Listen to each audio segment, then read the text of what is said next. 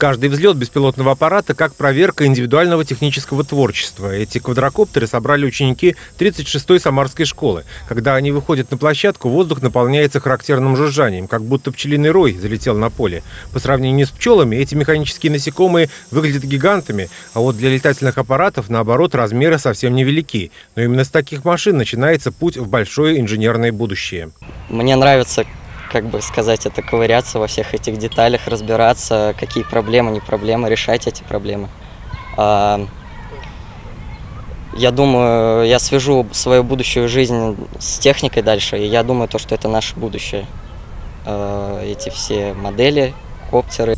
Собирая свой беспилотник, Камиль Хамитов понял, что это одно из самых перспективных направлений инженерной мысли. Сегодня создаются самые невероятные модели коптеров, которые нашли применение на самых разных производствах. И не только. Подняться над суетой всегда было мечтой и всего человечества, и каждого человека в отдельности. И самарцам в этом повезло более чем кому-либо. Для освоения космоса город сделал больше, чем весь остальной мир вместе взятый. И эти юные конструкторы для себя уже решили вопрос профессионального выбора. Очень интересная вещь – это полеты на этих квадрокоптеров.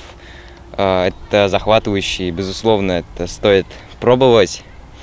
Ну, наверное, будущее я хочу связать с этим, а, с тем, то, что я поступлю обязательно в технический университет. Скорее всего, это будет Самарский аэрокосмический. Там я уже как раз к этому готовлюсь. Школа номер 36 Самары вносит свой вклад в пополнение кадрового резерва. Учебному заведению присвоен статус проектной площадки по беспилотным аппаратам и робототехнике. Ученики не только сами создают сложные машины, но и побеждают с ними, участвуя в конкурсах различного уровня. Применительно к нашему региону это очень перспективное направление, хотя бы потому, что а, в Самарской области уже э, устоялись традиции авиастроения, ракетостроения. И для того, чтобы хотя бы тот же самолет построить, его же нужно сначала спроектировать, э, рассчитать. И чтобы такие специалисты у нас в области были, нужно уже задумываться о том, чтобы со школы молодежь нашу готовить э, именно к техническим специальностям.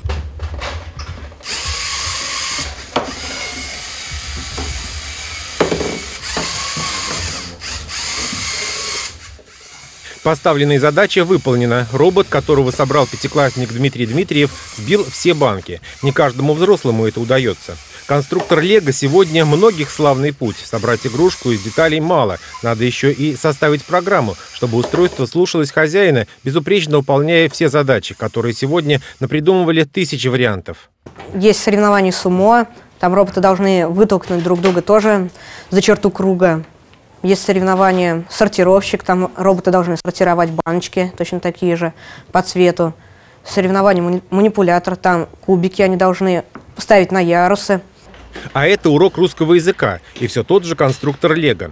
Интересное упражнение – собрать машину, описать свои действия и саму конструкцию. Получается сочинение. Дети работают парами, выполняя свои задания. Рядом из деталей собирается тематический кроссворд, а параллельно идет работа с учебником и проверка знаний на интерактивной доске. Вот так и получается алгебра и гармонию проверить. Школа с углубленным изучением целого ряда предметов. И все, что изучается, взаимосвязано. В рамках учебного плана мы стараемся через все предметы провести линию технической направленности. Это не значит, что мы будем готовить детей, которые однозначно будут поступать только в технические вузы. Но основы знаний для их профессиональной работы мы, конечно, закладываем, начиная с первого-второго класса. Сначала это первые шаги, когда через лего-конструирование дети стараются освоить некоторые темы русского языка. Раз, э, два, три. На примере игрушечной ракеты становится понятно принцип действия реактивного двигателя. Система достигает космических скоростей за счет реактивной тяги. Но это полушутливый эксперимент. Настоящее познание существует в виде формул и лабораторных опытов. В 36-й школе физика и математика – предметы с углубленным изучением. Что такое реактивное движение? Как мы привыкли на Земле, тело начинает двигаться, если мы его толкнем, или если оно само оттолкнется от чего-либо. А с реактивным движением э, все сложнее. В космосе нет чего отталкиваться, так благодаря чему же летит ракета.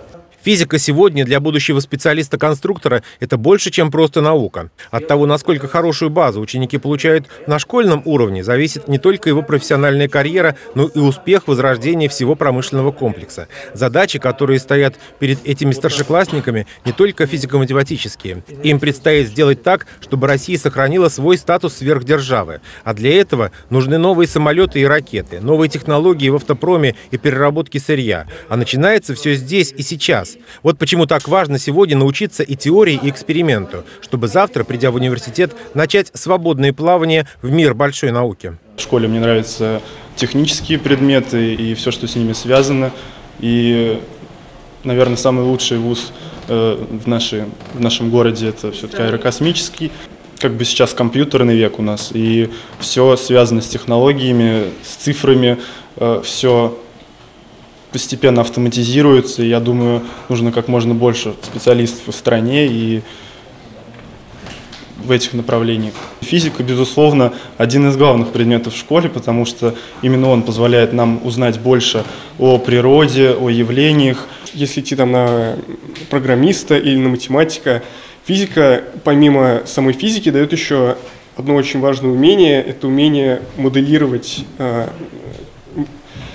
создавать математические модели реальных ситуаций. Программирование, оно подразумевает много разных направлений. Это можно и э, физическое программирование, и как связанное с промышленностью, или с экономикой, или там, скажем, с индустрией развлечений. Вот 97% наших выпускников поступает в вузы именно Самарской области. И более 50% поступает на технические, на специальности технической направленности. Вот, наверное, для этого мы и живем, и работаем. Это не говорит о том, что однозначно все выпускники нашей школы будут э, поступать в э, вузы технической направленности.